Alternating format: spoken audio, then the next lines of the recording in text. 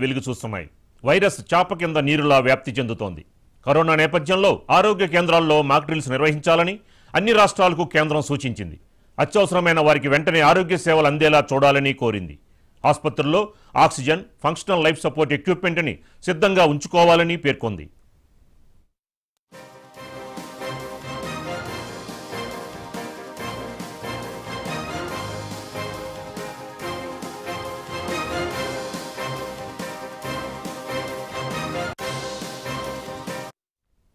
దేశంలో కరోనా కేసులు మళ్ళీ వెలుగు చూస్తున్నాయి.